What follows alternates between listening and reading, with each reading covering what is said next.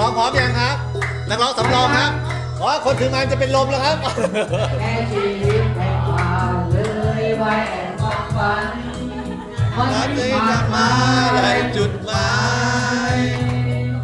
ฉันไม่รู้เลยถูกผิดตัวจิตใจ เป็นมิตรแท้ที่ดีต่อกัน